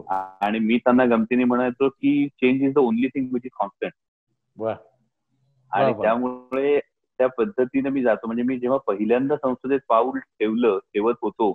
तेव्हा आमच्या सभागृहाच्या नेत्या खासदार सुप्रियाताई सुळे यांनी एकच गोष्ट मला सांगितली होती की तू या संसदेत पाऊल टाकतोय. फक्त एक लक्षात ठेव की एकशे तीस कोटी लोकसंख्येच्या भारतातल्या केवळ पाचशे पंचेचाळीस जणांना या सदनात पाऊल टाकता येतं. बरोबर. आणि for next five years you are one of them होय. मला वाटतं ते अं, कलाकार ते राजकारणात जाण्याचा हा प्रवास सुरू असताना हे खरं तर मी इमॅजिन करण्याच्या पलीकडचं होतं की एका सर्वसामान्य मध्यमवर्गीय शेतकरी कुटुंबातला मुलगा हा हो. कोणतीही राजकीय पार्श्वभूमी नसताना संसदेची पायरी चढतो. हो. आणि तेही थेट निवडणूक लढवून ती जिंकून ती पायरी चढतो. हो. ती मला वाटतं फार मोठी गोष्ट होती आणि ती आदरणीय पवार साहेबांच्या दृष्टीमुळे किंवा आदरणीय पवार साहेबांच्या मार्गदर्शनामुळे ती गोष्ट शक्य झाली. बरोबर. मला एक सांग पण हे तुला संधी अवघ्या वयाच्या चाळीशीत मिळाली आणि तू खासदार झालास पण ते करत असताना मुळामधला शिवसैनिक आणि नंतर ही संधी तुला दिली राष्ट्रवादीने. तर विचारांची दिशा आता पुन्हा तुम्ही एक तुमच्या सोयीनी राजकारणी मंडळी एकत्र आलेला आहात हा भाग वेगळा. हे मी माझ्यातलं तटस्थ पत्रकार तुला विचारतोय. पण आणि ते तू स्वाभाविकपणे स्वीकारलेली येस पण मुळामध्ये ही दिशा बदल हा विचारांचा बदल इतक्या सहजतेनं तुमचे मतदार स्वीकारतात का रे? खूप तुम्ही पायाभूत गोष्टींचा जर जेव्हा विचार करता जेव्हा तुम्ही मूळ विचारधारेकडे जाता. तेव्हा छत्रपती शिवाजी महाराजांचा विचार हा या सगळ्या पक्षीय विचारांच्या वर येऊन थांबतो. बरोबर. आणि हे झाल्यानंतर खर तर राष्ट्रवादी काँग्रेसच्या पवार साहेबांचा विचार स्वीकारणं हे माझ्यासाठी खूप सोपी गोष्ट अशासाठी आहे की आज महाराष्ट्राच्या राजकारणावर गेली जवळपास पन्नास पंचावन्न वर्ष एका व्यक्तीनं आपला अमीट असा ठसा उमटवलेला आहे. शंभर म्हणजे टक्के मला आठवतं लहानपणी नारायणगावला असताना जेव्हा पवार साहेबांची गाडी हायवेने जायची त्याचं मला आकर्षण असायचं. म्हणजे माझे बाबा हा. त्यावेळी काँग्रेसचे कार्यकर्ते होते. बर. म्हणजे खूप पहिल्या फळीतले असेही नाही. बरोबर. पवार साहेबांच्या विचाराने भारलेले किंवा पवार साहेब काहीतरी बदल घडवतात असा विचार असणारे आणि जसं जसं आता जेव्हा जेव्हा पवार साहेबांना जाणून घेतो म्हणजे संसदेतल्या अधिवेशनांच्या काळात विशेषतः पवार साहेबांशी खूप इंटरॅक्ट होण्याचा हे येतो आणि तेव्हा तेव्हा असं वाटतं की ही व्यक्ती पवार साहेब हा विचारच वेगळा करतात. All said and done about him पण कृषी असेल कला असेल साहित्य असेल औद्योगिक असेल या प्रत्येक क्षेत्राचं त्यांना असणारं नॉलेज त्यांची असणारी त्यांच्या काही असणारी एक जिज्ञासा आणि होतकरू तरुणांच्या पाठीवर हात ठेवण्याची त्यांची प्रवृत्ती ही वाखाणण्यासारखी. मला अजूनही आठवतं माझ्या प्रचाराच्या काळात पवार साहेबांची एक सभा होती हडपसरमध्ये. आणि. हडपसरच्या सभेमध्ये पवार साहेबांचं एक वाक्य फार महत्वाचं होतं. ते असं होतं की जेव्हा पवार साहेबांची उमेदीचा काळ होता तेव्हा. यशवंतराव चव्हाण साहेबांनी सांगितलं होतं की पुढच्या वीस पंचवीस तीस वर्षांचं राजकारण करण्यासाठी तुम्हाला नवीन पिढी राजकारणात आणावी लागेल. हो. आणि पवार साहेब म्हणाले की हाच विचार करून ही उमेदवारी या तरुणाला देत देतोय. बर बर. त्यामुळे ती एक जबाबदारी टाकणं त्या कामावर लक्ष ठेवणं आणि हे होत असताना जो पुन्हा मी जो म्हणालो की महाराजांचा सगळ्यात मोठा विचार काय? रयतेच्या कल्याणाचा विचार. बरोबर. आणि शिवसेनेमध्ये अं, हिंदू हृदय सम्राट बाळासाहेब ठाकरेंचा जो विचार होता तो भूमिपुत्रांच्या हक्काच्या विचारातून त्या हुंकारातून खर तर शिवसेनेचा एक जन्म झाला आणि हो. त्यामुळे शिवसेनेतलाही आदर्श जर बघितला आपण तर महाराज महाराजांना आदर्शवत ठेवून त्यांनी याची उभारणी केली होती आणि त्याच पद्धतीने पवार साहेबांचं संपूर्ण पट जेव्हा आपण बघतो तेव्हा त्या हो. सर्वसामान्य घटकातल्या शेवटच्या घटकापर्यंत विकास पोहोचवण्याच्या दृष्टीनं जे सातत्यानं त्यांनी प्रयत्न आतापर्यंत केले म्हणजे त्या दिवशी पार्लमेंट संपल्यानंतर पवार साहेब बोलत होते तेव्हा मी त्यांना सहज विचारलं की साहेब आपल्याकडे एमआयडीसी आणण्याचं नेमकं कशातून सुरुवात झाली तर साहेबांनी मला पटकन सांगितलं की अरे हरियाणा पंजाब या याच्यामध्ये इरिगेटेड लँड ही जवळपास ऐंशी टक्के. हो आणि आपल्याकडे एवढी धरणं झाल्यानंतर बारा महिने ओलिता खाली असलेलं जमिनीचं प्रमाण हे जेमतेम अठ्ठेचाळीस टक्क्याच्या आसपास. मग. असं असताना भविष्य काळाचा विचार करून शेती या एका व्यवसायावर संपूर्णपणे आपलं राज्य चालू शकणार नाही. हा. आम्ही तेव्हा ओळखलं आणि तेव्हापासून एमआयडीसी आली पाहिजे औद्योगिकरण आलं पाहिजे त्याच्यातून रोजगार निर्मिती झाली पाहिजे. हा जो काळाच्या पुढे जाऊन करण्याचा विचार आहे हा खरंच भारावण्यासारखा आहे. नक्कीच. त्यामुळे मला वाटतं माझ्या बाबतीत तर ती विचार जसं तुम्ही म्हणालात की पुन्हा महाविकास आघाडी सरकार बनल्यानंतर तर माझ्या बाबतीतली विचारांची गल्लत होण्याचा काही विचार विषयच नव्हता. बरोबर. गंमत बघ मला पण अत्यंत आनंद वाटतोय की माझं एक पुस्तक नववं पुस्तक आता येत आहे. टॉप ट्वेंटी म्हणून. ज्याच्यामध्ये प्रत्येक क्षेत्रातल्या मान्यवरांच्या मुलाखती एकत्र केलेल्या आहेत. ज्या मुलाखती खूप मागेच झाल्यात पण पुस्तकाच्या निमित्तानं त्या एकत्र स्वरूपात येत आहेत. ज्याच्यामध्ये बाळासाहेब ठाकरे साहेब त्याचप्रमाणे पवार साहेब यांच्यापासून लता मंगेशकर आशा भोसले यांच्यापासून ते सचिन तेंडुलकर पर्यंत अनेकांच्या मुलाखती आहेत. आणि त्याच्या हा तर या मुलाखतींचं पुस्तक आता एकत्रितरित्या या लॉकडाऊनच्या काळामध्ये जे पेंडिंग पडलेलं होतं ते आता एकत्र येत आहे. आणि ते तुझ्यासारख्या मंडळींना वाचायला आता ते मिळेल लॉकडाऊन संपल्यानंतर. असं मला. खूप आनंदाचा भाग आहे आणि त्याच्यामध्ये तुझी आता मुलाखत होतीये. हे माझ्या दृष्टीने फार फार मोलाचं आहे. कारण नव्या पिढीमधला अत्यंत हुशार पण तरीही सहजतेनं वागणारा आणि बोलणारा असा तू मला भेटलायस हे माझ्या. दृष्टीने पण खूप आनंदाची बाब आहे. खरंच आनंदाची बाब आहे. मला एक सांग. राजकारण डॉक्टरी हे सगळं एकत्रितरित्या जमवणं हे करत असताना तू विचारधारा तुझी कशी असते? विचार मी खूप मी खूप सोपं गणित याचं तयार केलेलं आहे की. डॉक्टरी कलाकार आणि राजकारण याला. मी कायम आनंदाचं गुणोत्तर म्हणतो. म्हणजे मी केवळ स्वतःला डॉक्टरी पुरतं जर मर्यादित केलं तर मी एका दिवसाला फार तर शंभर दोनशे तीनशे चारशे पाचशे लोकांच्या आयुष्यात आनंद निर्माण करतो. बरोबर. जेव्हा मी कलाकार म्हणून काम करतो तेव्हा मी रंगभूमीवर असताना मी एकावी हजार लोकांच्या चेहऱ्यावर आनंद देऊ शकतो. मी हो. मालिका क्षेत्रात काम करत असताना मी अनेक लोकांच्या चेहऱ्यावर आनंद देऊ शकतो कोट्यवधी लोकांच्या चेहऱ्यावर आनंद देऊ शकतो पण तो. तात्कालिक आनंद असतो हो आणि हो. जेव्हा तुम्ही विधायक विचार ठेवून राजकारणात काम करता तर तुमचा एक निर्णय तुमची एक कृती जसं मी हो. आत्ता भरभरून पवार साहेबांविषयी बोलतो हो की त्यांची एक कृती ही अनेक वर्षांसाठी कोट्यवधी लोकांच्या आयुष्यात आनंद निर्माण करू शकते खरं मला वाटतं या विधायक विचारावर राजकारण जर आपण आखत गेलो तर. डॉक्टरी कलाक्षेत्र राजकारण हे. आनंदाचं गुणोत्तर आहे आणि या सगळ्या गोष्टी एकमेकांशी रिलेटेड आहेत अशासाठी की डॉक्टरीनी माझी विचार करण्याची एक पद्धत तयार केली म्हणजे. कुठलेही केस आल्यानंतर आपण जे नॉर्मल हे करतो हिस्ट्री टेकिंग मग इन्स्पेक्शन मग पाल्पेशन मग ऑस्कल्टेशन मग investigation then we reach differential diagnosis and then we go to final conclusion that is diagnosis बरोबर. त्यामुळे कुठल्याही समस्येला या विचार प्रणालीत जेव्हा आपण टाकतो तेव्हा ती समस्या खूप सोपी होऊन त्या समस्येचं उत्तर आपल्यासमोर येत असतं. त्यामुळे तुम्ही. संसदेतली सगळी जर भाषणं बघत असाल तर त्यामध्ये एक कायम माझा कटाक्ष असतो की त्या विषयाची माहिती घेऊनच त्यावर बोलावं. म्हणजे ज्याला आपल्याकडे कायम अभ्यासोनी प्रकटावे म्हणतो हो त्या हो. पद्धतीनं आपण माहिती घेतली पाहिजे आणि त्याला मेडिकलचा बॅकग्राऊंड हा डेफिनेटली कामाला येतो. बरोबर. कला क्षेत्राचा त्यामधला जो इम्पॅक्ट येतो तो म्हणजे संसदेत बोलत असताना मोजक्या शब्दांमध्ये तुमच्याकडे हार्डली तुमच्या एकूण स्ट्रेंथ असते त्या स्ट्रेंथच्या प्रमाणात तुम्हाला मिनिटं मिळतात बोलायला. बरोबर. त्यामुळे तुम्ही किती मिनिटात बोलणार आहात? तुम्ही किती इफेक्टिव्हली बोलणार आहात? किंवा तुमच्या आवाजाचे आरोह अवरोह तुमचे कसे असणार आहेत? जेणेकरून सत्ताधाऱ्यांचं आता आम्ही विरोधी पक्षात संसदेत आहोत त्यामुळे. सत्ताधाऱ्यांचं लक्ष वेधून घेण्याच्या दृष्टीने तुम्हाला नेमकं काय करायचंय.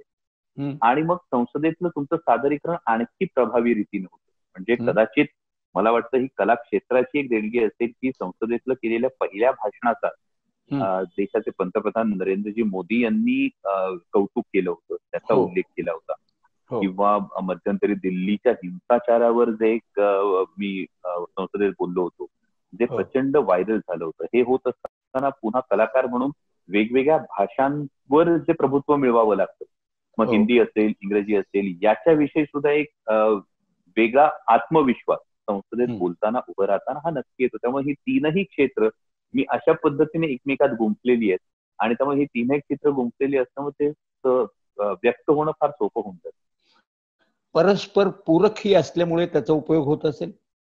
ही क्षेत्र ती परस्पर पूरक करून घेतल्यामुळे नक्कीच त्याचा उपयोग मला एक सांग तुझं हे वक्तृत्व हे अंगभूत आहे का डेव्हलप केलंस? अं, मला वाटतं हे डेव्हलप होत गेलं आणि याच्यामध्ये फार. मोठं श्रेय पुन्हा माझ्या आईबाबांचं मोठ्या प्रमाणावर आणि माझ्या आपटे प्रशालेतल्या माझ्या शिक्षिका होत्या. हा. सुचरिता पोरे त्यांचं एक फार मोठं हे आहे. मला आठवतं मी एकदा एक कॉम्पिटिशनमध्ये कायम पहिल्या दुसऱ्या रँकसाठी कॉम्पिटिशन असायची आणि एक मुलगी होती माझ्यापेक्षा एक एक किंवा दोन बॅच सिनियर असेल. आणि तिचं भाषण फार सुंदर असायचं आणि तिचे बाबा तिला भाषण लिहून द्यायचे. आणि मी माझ्या बाबांकडे कायम हा हट्ट करायचो की मला पण तुम्ही लिहून द्या. आणि बाबा मला कायम सांगायचे नाही आज तुझा दुसरा नंबर आला तरी मला चालेल पण तुझं भाषण तू लिहिलं पाहिजे. मी लिहून देणार नाही. आणि माझ्या प्रत्येक भाषणाची पहिली श्रोती ही माझी. आई असायची. म्हणजे आजही मला हा कॉन्फिडन्स असतो की आईला जर एखादं भाषण आवडलं आईला जर एखादी कलाकृती आवडली तर ती महाराष्ट्रातल्या तमाम माता माऊल्यांना आवडणार. कारण एक सर्वसामान्य मध्यम वर्गातली गृहिणी म्हणजे माझी आई. आहे. हो माझ्या आईला आवडलं म्हणजे ते सगळ्यांना आवडणार हे एक सूत्र मी स्वतःमध्ये. बांधून घेतलेलं आहे. आणि मग हे हळूहळू डेव्हलप होत गेलं. या अ, शाळेचं व्यासपीठ असेल किंवा पुण्यात आल्यानंतर आंतरशालेय वक्तृत्व स्पर्धा असेल त्यातही जास्त माझा कल हा उत्स्फूर्त विषयाकडे जास्त असायचा आणि. पुणे आंतरशालेय वक्तृत्व स्पर्धेचं मला आठवतं मी सलग तीन वर्ष सर्वसाधारण विजेता होतो दहावी. अकरावी बारावी या तीनही. वर्ष आणि. हे सातत्यानं करत राहून मला वाटतं वक्तृत्व कला ही एक जोपासण्याची कला आहे त्याला वाचनाचा एक मोठा भाग लागतो आणि हे होत असताना ज्या मी कोरे मॅमचा उल्लेख केला त्यांचा हो. पुण्यात आल्यानंतर विशेषतः मला आत्मविश्वास देण्यासाठी त्यांचा एक फार मोठा हातभार त्या आत्मविश्वासासाठी लागला होता. त्यामुळे ते हो. हळूहळू डेव्हलप होत गेलं. हे अचानक डेव्हलप नाही झालं. आणि त्यासाठी तो विषय माहीत करून घेणं त्याच्याविषयी वाचणं वेगवेगळ्या शैली अभ्यासणं हे नकळत अंगवळणी पडत गेलं. म्हणजे आजही मला वक्तृत्वाच्या बाबतीत जर म्हणायचं झालं तर मला मनसेचे प्रमुख राज ठाकरेंचं वक्तृत्व मला प्रचंड आवडतं म्हणजे मी कोणत्याही पक्षात सक्रिय असलो तरी मी राजसाहेबांचं भाषण चुकवत नाही. त्यांचं जे पुस्तक आहे राजभाषा तेही मला ऐकायला कायम आवडतं हिंदू हृदय सम्राट बाळासाहेब ठाकरेंची भाषणं असतील किंवा संसदेतली प्रमोदजी महाजनांची भाषणं असतील ती ऐकायला मला प्रचंड आवडतात मला. धनंजय मुंडेंना ऐकायला आवडतं. किंवा आज काल शिवव्याख्यातांमध्ये पुन्हा आपल्याला दोन वेगळे प्रकार मिळतात. म्हणजे एकीकडे तुम्हाला अमोल मिटकरी असतील आता ते नितीन बानगुडे पाटील असतील डॉक्टर शिवरत्न शेटे असतील यांची एक पूर्ण जातकुळी वेगळी आहे. किंवा निनादजी बेडेकरांची एक जातकुळी वेगळी होती प्राचार्य शिवाजीराव भोसलेंची एक जातकुळी वेगळी होती. आणि त्यातूनही आता जर तुम्ही जेव्हा पवार साहेबांकडे जाता तेव्हा पवार साहेबांच्या वक्तृत्वाला आणखी फार वेगळा अँगल असतो. नक्कीच. की या सगळ्या श्रोतांच्या व्यासपीठाच्या पलीकडे उद्याच्या पेपरची हेडलाईन आणि पत्रकारांना काय अभिप्रेत आहे याचाही एक कॉग्निजन्स असतं मला वाटतं तिथपर्यंत पोहोचायला आणखी मला बराच वेळ लागेल. शंभर टक्के. हा अभ्यास सातत्याने चालू राहिल्यामुळे ते डेव्हलप झालं पण तुझं भाग्य असं आहे की तुला एकीकडे इतिहासाचे अभ्यासकही अनुभवता आलेत आणि एकीकडे तुला आत्ताच्या प्रत्यक्ष राजकारणामधल्या नामवंतांनाही सामोरं जाता आलंय किंवा त्यांचा सहवास तुला लाभतोय मार्गदर्शन लाभत आहे ही खरंच भाग्याची गोष्ट आहे मला एक सांग इतिहासाची मुळात आवड ऐतिहासिक या सगळ्या मातब्बरांची आवड किंवा त्यांचा अभ्यास करण्याची एक ओढ ही तुला कशातनं निर्माण झाली कदाचित हा पुन्हा माझ्या मूळ याच्याकडे जावं लागेल कारण माझं मूळ गाव नारायणगाव आहे त्यामुळे येणारे. पाहुणे आल्यानंतर. फिरायला जायचं म्हटलं तर ओझर असायचं लेण्याद्री असायचं शिवनेरी असायचं. बरोबर. त्यामुळे मी काय असं म्हणतो की इतिहासाच्या पुस्तकातून महाराज भेटायच्या आधीच. मला महाराज भेटले. वा वा.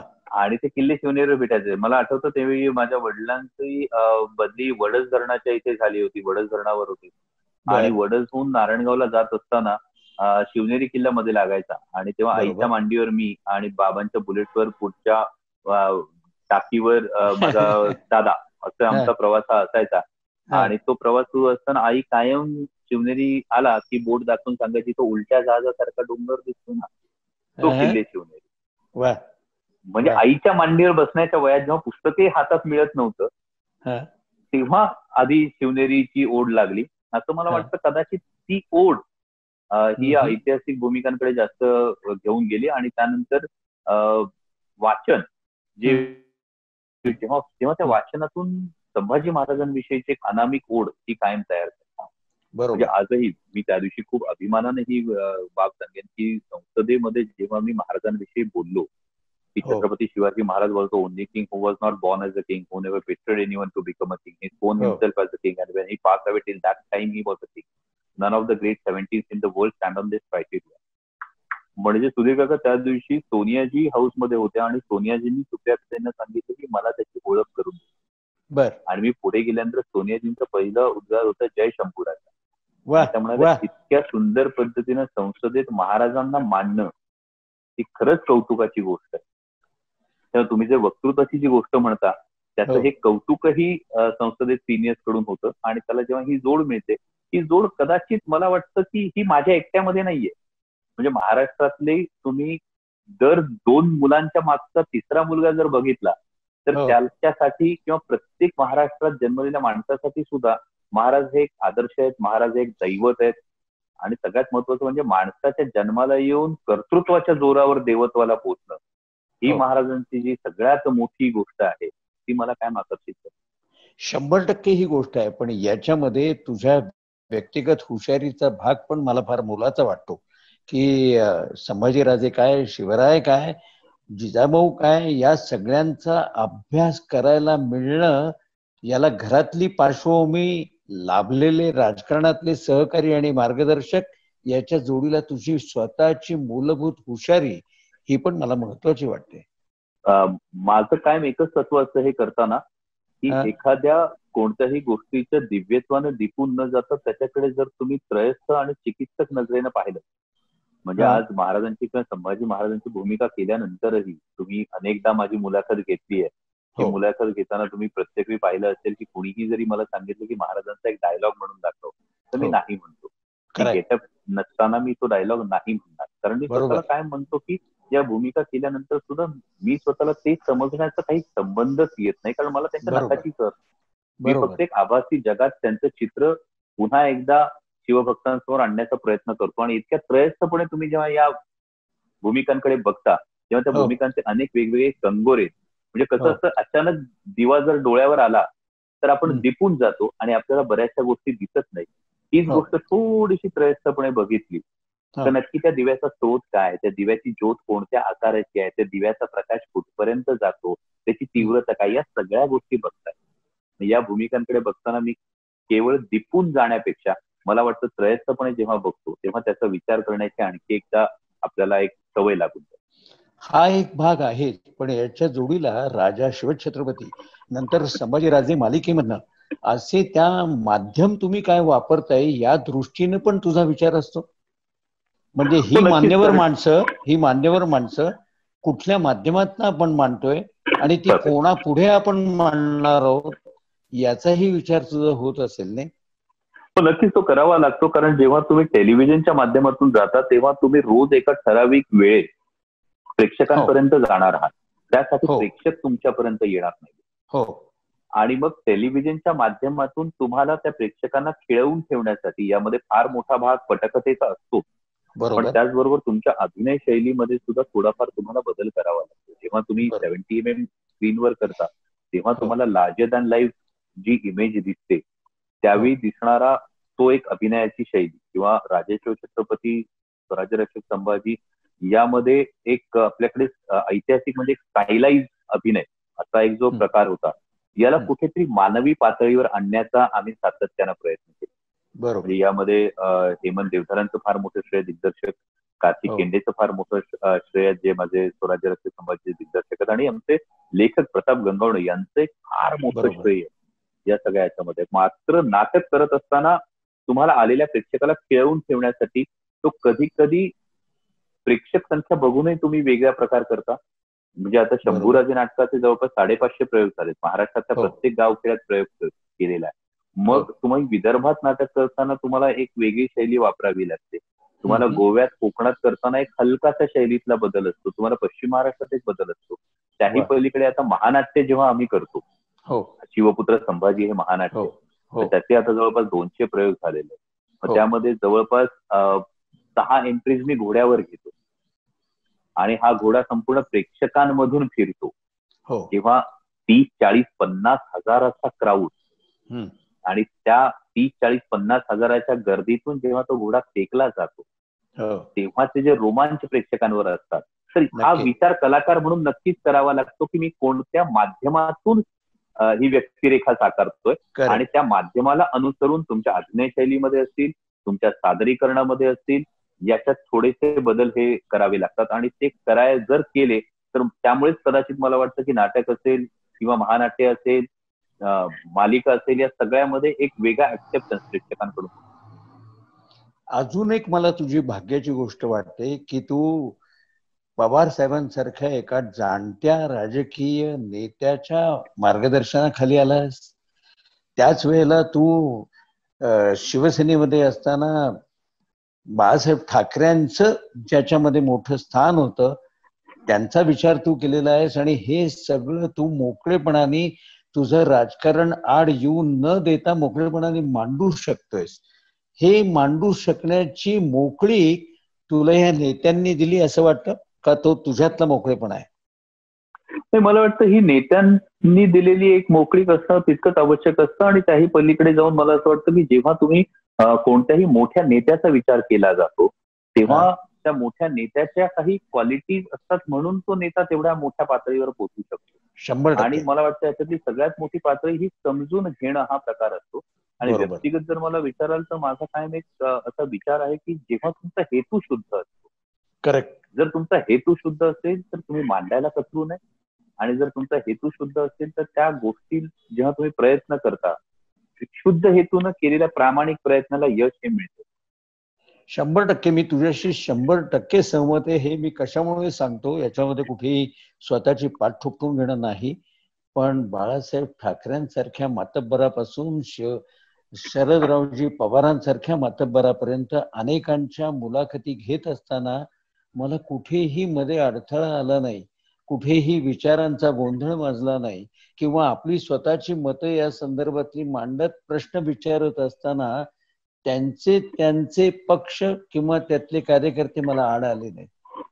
मला असं वाटतं ह्या माणसांचं मोठेपण आहेच आणि तुमच्या विचाराच्या मागची शुद्धता स्पष्ट तोही भाग मोठा असतो असं मला वाटतं. मला तुझ्याकडून ते तेच जाणून घ्यायचं होतं की तू लोकांसमोर जाताना हा सगळा विचार करतोस का? ते नक्कीच हा विचार करतो की जेव्हा तुम्ही प्रामाणिकपणे म्हणजे खूप सोपं आहे काका की झोपताना अंथरुणाला पाठ लागल्याबरोबर तुम्हाला डोळे मिटता आले पाहिजेत. आणि आरशात उभं राहिल्यानंतर स्वतःच्या नजरेला नजर देऊन बघता आलं पाहिजे. तुम्ही कोणत्याही. क्षेत्रात असा तुम्ही राजकारणात असा तुम्ही कला क्षेत्रात असा तुम्ही उद्योग व्यवसायात असा तुम्ही मेडिकल क्षेत्रात असा या दोन गोष्टींचं सूत्र जर तुम्हाला जुळलं असेल हो. तर मग तुम्हाला इतर कोणत्याही गोष्टींचा विचार करावा लागत. किंवा जसं तुम्ही म्हणाल लोकांसमोर जाताना तो विचार करतो का? हो. तर मी याला काय म्हणतो की आसक्ती आणि विरक्ती या दोन गोष्टी याला अवलंबून खरंय. म्हणजे गुंत्यात साऱ्या गुंतून या पाय माझा मोकळा ही तुमची प्रवृत्ती असली पाहिजे. तुम्हाला जर त्या अधिकाराविषयी तुम्हाला जर त्या पदाविषयी जर आसक्ती निर्माण हम्म. तर तुम्ही त्या एकूण चक्रव्यूहात फसला तुम्ही पूर्णपणे त्यापासून विरक्त झालात तर तुमच्या हातून ती संधी गेली. त्यामुळे त्या विषयाची असणारी आसक्ती आणि त्याबद्दल असणारी विरक्ती मला वाटतं याचं सर्वोत्तम उदाहरण जर असेल तर. छत्रपती शिवाजी महाराज. म्हणजे आपण जेव्हा महाराजांना श्रीमंत योगी म्हणतो त्या हो. श्रीमंत योगी म्हणजे काय? तर ही. आसक्ती आणि विरक्ती याचा योग्य समन्वय याचा योग्य ताळमेळ आणि याचा बॅलन्स साधता येईल. आणि मी कायम हाच प्रयत्न असतो की आसक्ती आणि विरक्ती. म्हणजे खूप वेळा असं होतं मला अनेक जण म्हणतात की आता तू खासदारकीची निवडणूक लढवली आता पुढचं काय? माझं कायम एक शांतपणे उत्तर असतं I don't think about the destination I want to enjoy the journey बरोबर बरोबर बरोबर. कारण खूप वेळा असं होतं मला मुंबईहून पुण्याला पोहोचायचंय आणि मी पुण्याला किती वाजता पोहोचणार? या नादामध्ये मी मुंबईमधलं पण बाहेर काय दिसतंय हे विसरून जातो. मी खंडाळ्याच्या घाटामध्ये मला जे निसर्ग सौंदर्य दिसतं तेही मी विसरून जातो हम्म.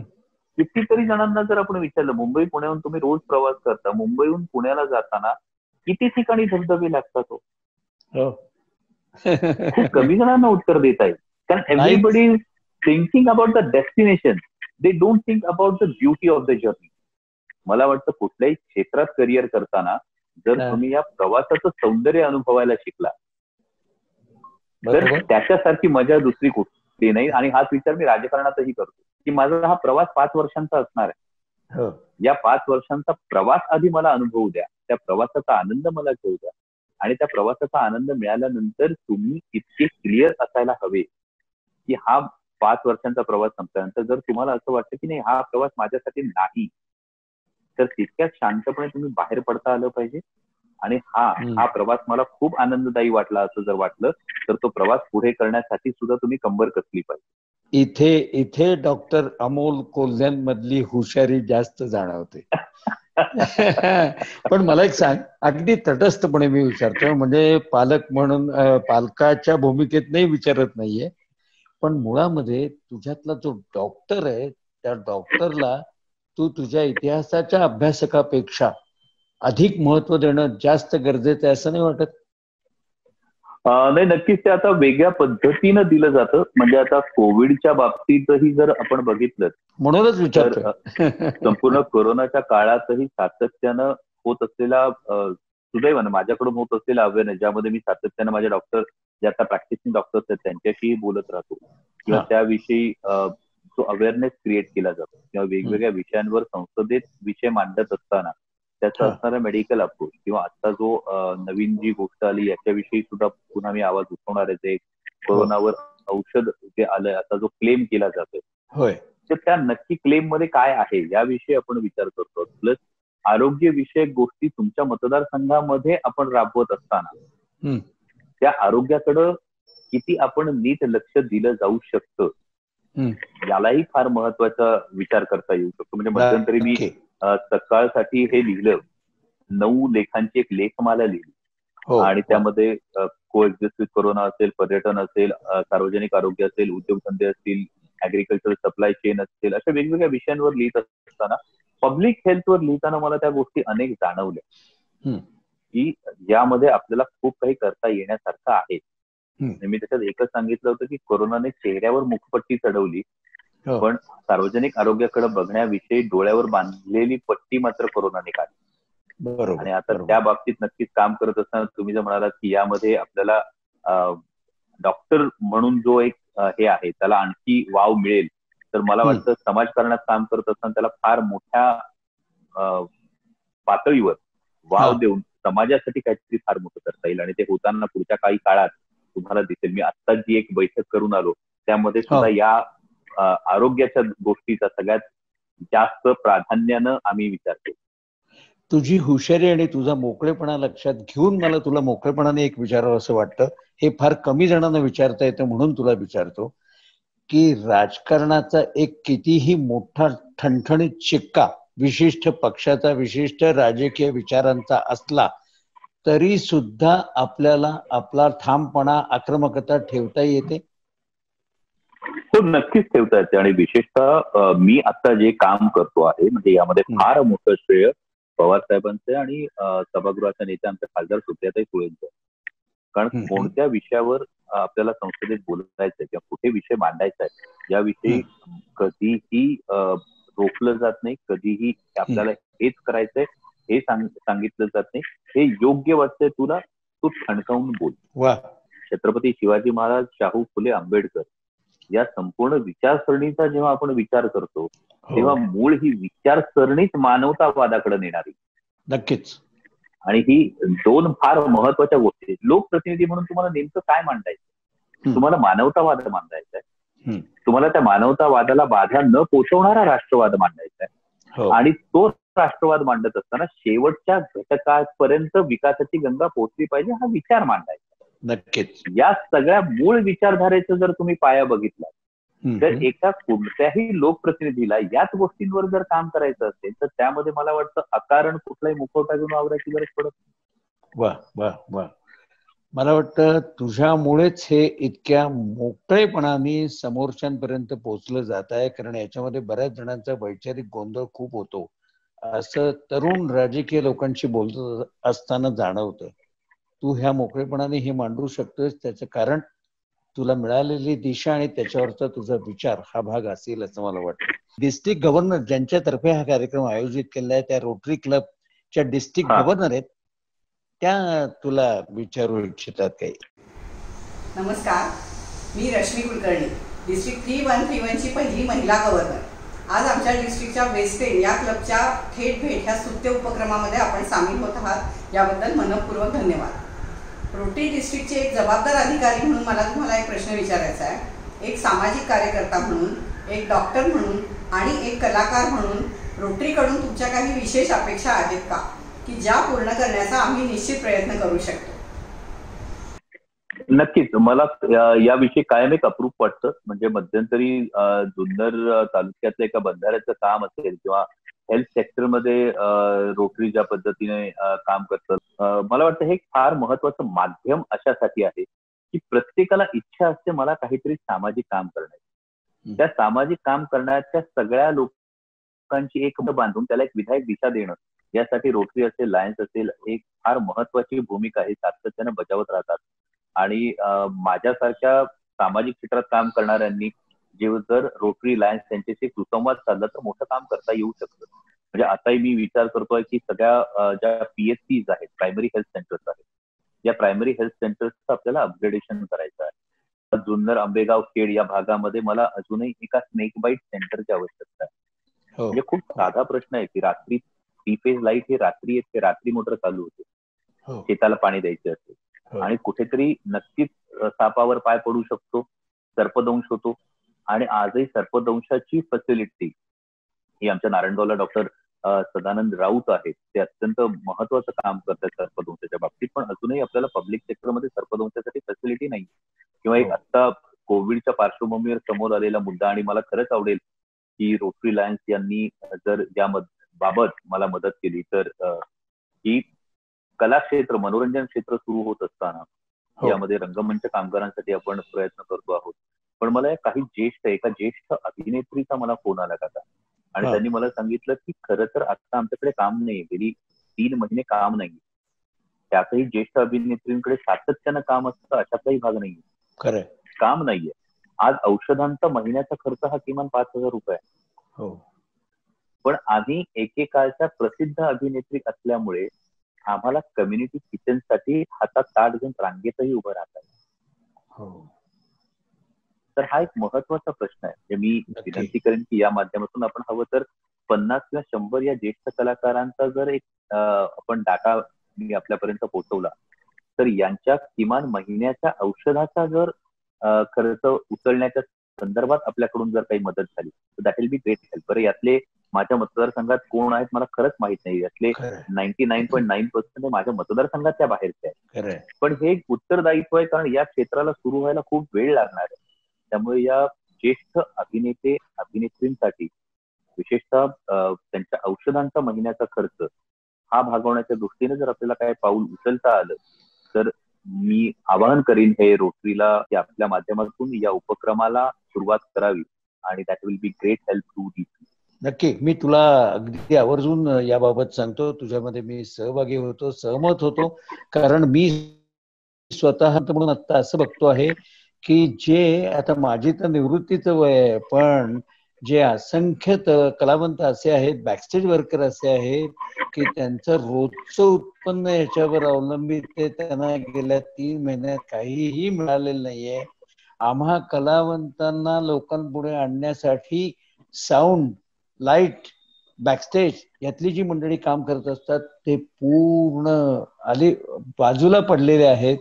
त्या सगळ्यांसाठी काहीतरी रोटरीनी करावं असं मी आनंद भागवतवार जे रोटरीच्या या क्लबचे अध्यक्ष आहेत त्यांना आणि रश्मी त्यांना विनंती करीन की त्यांनी आपल्यासारख्या कलावंताच्या मदतीनं राजकीय लोकांच्या मदतीनं काहीतरी शंभर टक्के पुढे येऊन करावं अशी मी सुद्धा विनंती करेन आनंद भागवतवारांना आणि रश्मीताईंना मला वाटतं मी इथेच थांबतो कारण मूलभूत तुझी जी हुशारी आहे तिनंच तुला या सगळ्या गोष्टींकडे बघण्याचा दृष्टिकोन फार सुंदर दिलेला आहे. आणि त्या सुंदर दृष्टिकोनाला पवार साहेब काय बाळासाहेब काय यांच्यासारख्यांचं मार्गदर्शनाची दिशा फार चांगल्या पद्धतीने तुझ्यापर्यंत तुझ्या मनात रुजवलेली असं असं मला आपलं वाटतं. तूच सांगशील अधिक नेमकेपणाने समारोप करताना.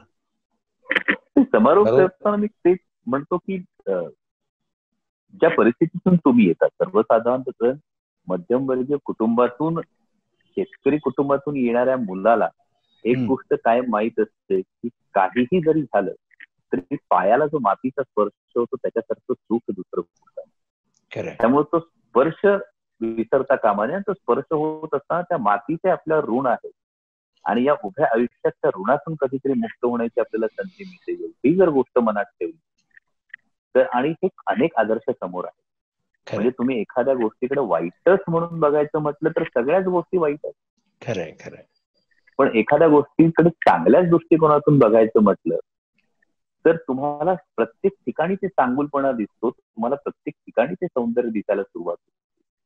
म्हणजे आपल्या मला मी काय म्हणतो ना माझ्या आई वडिलांनी मला काय दिलं मला वाटतं की अनेक जण हा विचार करतात विशेषतः तारुण्याच्या उंबरठ्यावर आलेली मुलं त्यांच्या वडिलांविषयी काय म्हणतं माझ्यासाठी काय ठेवलं मला सगळ्यात महत्वाचं असं वाटतं की त्यांनी तुम्हाला एक सगळ्यात मोठा संस्कार दिला त्यांनी तुम्हाला. जगण्याचा एक मार्ग दाखवला आणि. आता त्या मार्गावरून त्यांनी तुम्हाला एका टप्प्यावर आणून ठेवलं जिथे तुमच्या पंखात बळ दिले भरारी घेण्याचे खरंय त्यामुळे ती. भरारी घेण्यासाठी ती जी ताकद लागते ती प्रत्येकाने स्वतः म्हणजे शेवटी फक्त समप करीन खलील जिब्रानच्या कवितेनं की पाखरं आभाळात संचार करतात तेव्हा वाटा पाहत नाही.